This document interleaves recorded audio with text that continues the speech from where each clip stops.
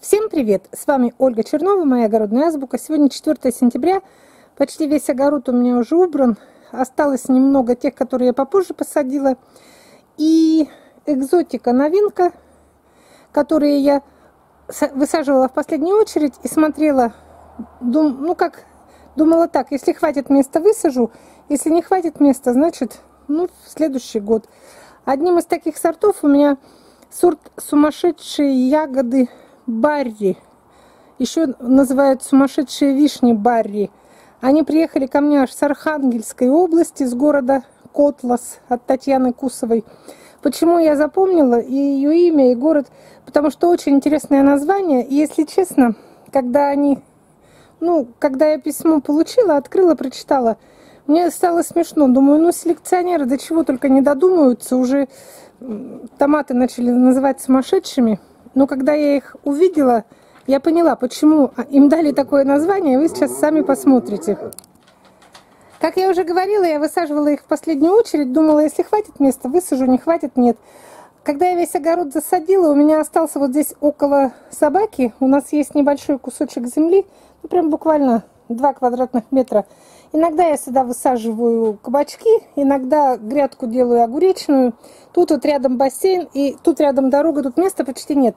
Я вот сюда сунула одну, как один томат сумасшедшие ягоды Барри сюда, а один в теплицу, чтобы, как обычно, испытать их, ну и в тех и в других условиях, где они хорошо растут. Я сейчас вам расскажу о нем немного, а потом покажу. И покажу все вот это вот, эту плодовитость, эту урожайность этих сумасшедших ягод. Это действительно сумасшедшие. Когда я прочитала в описании, что у них по 50 штучек плодов в одной кисточке, мне, конечно, не очень поверила в том, думаю, ну ладно, но если там 3 или 4 кисти, их, возможно, будет 50. Но когда я сейчас вот начала, вышла, я посчитала, кистей у меня около 30. И в каждой кисти вот такое огромное количество, но не сосчитаешь, какое огромное количество вот этих томатов. Конечно, из-за того, что я его высадила в последнюю очередь, некоторые даже но не успели полностью сформироваться. Но сейчас погода хорошая, я хочу их оставить, пусть они дозревают. Вообще это сорт тоже американский. Тот же самый селекционер создал автор вот этой аметистовой драгоценности, многих томатов биколор. Он очень много интересных томатов вывел. И вот эти сумасшедшие ягоды Барри, это тоже его авторство. Томаты, конечно, это черри. Написано, что их нужно подвязывать. Хорошая опора нужна, потому что они вырастают очень высокими и очень урожайными. Куст буквально весь увешан вот этими гроздями. Но так как я не собиралась за ними сильно ухаживать и высадила здесь, ну так, на пробу посмотреть, какие будут. Вот видите, вот это все один куст. Сейчас я пройду. Вот видите, где начинается. Вот это вот все, что лежит на земле, вот эти кисти, вот эти вот... Все идет вот от одного от этого кустика.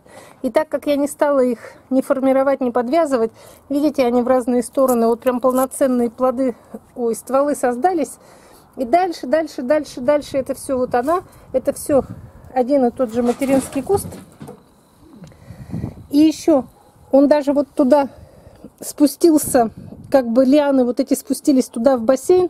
У нас бассейн старый, не действующий. Я их сейчас подняла и сюда запрокинула, потому что они там начали осыпаться уже.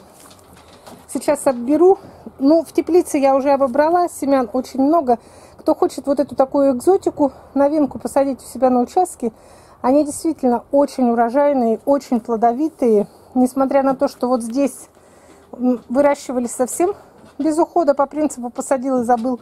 Но это видно. Вот валяются все эти сумасшедшие ягоды прямо здесь, вот недалеко от собачьей будки. Это даже и не огород-то уже у нас, а так проход между бассейном и собакой. И я испытала их для любителей томатов черри. Это прекрасный вариант.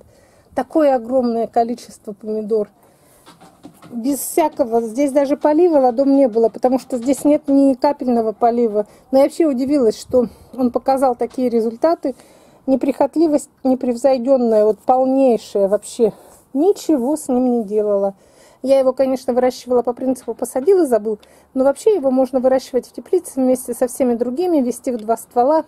Дает очень много кисточек. цвет желтый и такой как бы с немного с прозрачностью, как вот написано, с легкой прозрачностью. Видите, они не матовые, а как бы это, ну как полупрозрачные такие, вот как бывает, когда переспелые яблочки. Все. Вот это в моем каталоге номер 224, тоже новинка этого сезона. Конечно, это сорт коллекционный, в магазинах его можно не искать.